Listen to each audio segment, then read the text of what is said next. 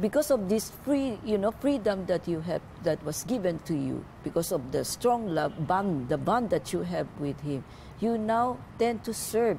You give yourself to other people now.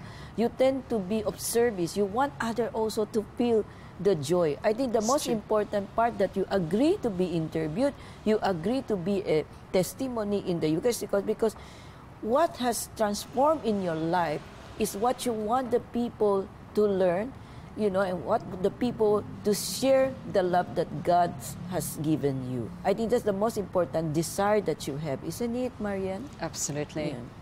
Yeah. It is, as, as you said, it's a very deep desire for people to fall in love with God. And because of that, to know that their falling in love, are falling in love, is only a yes to His love for us. And nothing, nothing is more beautiful. Hmm. The world now is so much, you know, chaos and it's threatening all of us. So we need Him again to strengthen us. Exactly. Well, you're touching on the most profound aspect of being Christian, in that hmm. it is it is relational. It's about a relation. God is not an idea; He's a person, Yes. and He never ever lets you be. He he's, he can be very disturbing. Yes.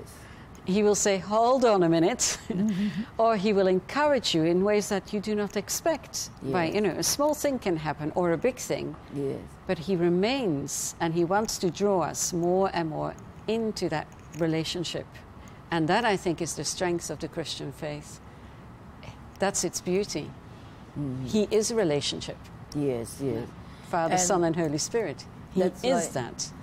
He has given us so much chance. Like this 51st International Eucharistic Congress is really a wonderful opportunity to open our hearts and mind to Him, really to talk to Him and understand Him. Let Him penetrate us. So we should not lose this gigantic moment that was given to the Philippines and to other you know pilgrims who has come here from 72 countries right and with your experience you know it's really a very clear message that a warning is being given to us, but a warning with all the this environmental change, climate change, you know, the act of terrorism, mm. you know, poverty, you know, war everywhere. There is no peace at all.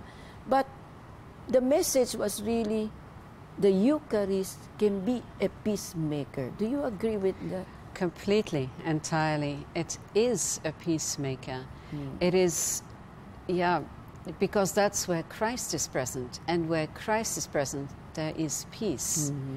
Even if it's hidden, it is present. Like, for example, in my country, Yes. where very few people still will participate in the Eucharist. Mm-hmm. But if it is happening, it is happening. God often works in the hidden ways. Yes. You know, he doesn't just hide behind trees to Yes, play with yes, us, yes. but there are moments when he's underground feeding so that new life can come into being. And that is why, as a Christian, we can never, ever despair. Mm. Even in the deepest darkness, he's there.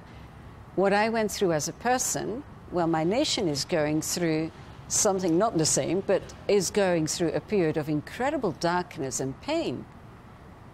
A lot of people in my country are suffering. Rich middle class people, in particular. They're suffering because of a kind of poverty they've never known before, in terms of relationship, in terms of loneliness, abuse, which is happening so in such a, a big, present way. Mm-hmm. But God is there, and He continues to be there. And what will happen in the future, well, creates for us an opportunity to trust Him day by day. He never lets go, ever. what is happening now is clearly a small message or maybe a big message to all of us all over the world. The world is not that yet, you know, hopeless. Just open your eyes, look up, look at the cross, then see hope in it. You're touching on something that's of great value and importance. That's open your eyes and look, and look to Him. Yes. That's one of the things I also said when I gave my testimony. God longs us to look to Him, not to the despair, the Yes. darkness, the difficulties, but to Him. Yes. And when we do that, He will be the one who carries us through everything Yes. and who will bring renewal, Hmm. new hope, new faith in His time. Because God's free. Sometimes we think that we can determine things. No, no, no. No, no. We shouldn't underestimate the freedom of God. He decides, hmm. and we can joyfully follow, hmm. but we can't. We can't control. We can only pray and be and trust, but only We only open our hearts and exactly minds to that. Him. You yeah, know. That only is actually again a gift, mm, because He is also God, and that is you know where it, the relationship between God and humanity, history and the eternity. It's wonderful. It is unbelievably beautiful. Mm-hmm.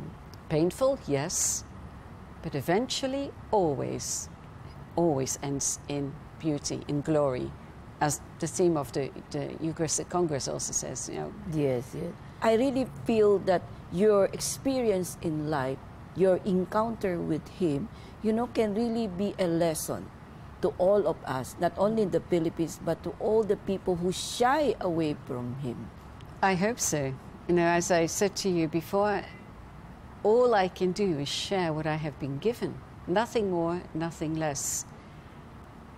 And that wonderful prayer by St. Francis, which we all know, make me an instrument of, and then all the other words come, and like, yes, make me an instrument. Yeah, which reminds me of John Cardinal Henry Newman, the blessed John Cardinal, who, who mm-hmm. I have an affinity for. He at one point, you know, wrote, Lord, if I'm going through despair, if I'm going to confusion, whatever it is, use it. And that, I think, is, is the right attitude of any believer. Putting ourselves, surrendering ourselves to God will only fill us with more joy, more hope, more peace. We will continue our beautiful discussion sa pagbabalik po ng Power to Unite with Elvira.